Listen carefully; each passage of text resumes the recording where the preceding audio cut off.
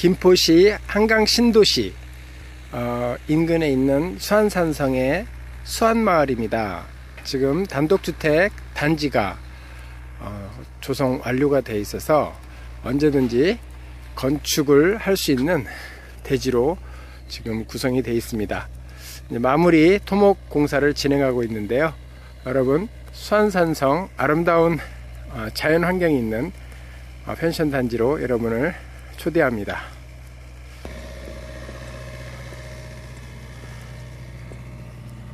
지금까지 하나윈 건축사 사무소의 김성수였습니다.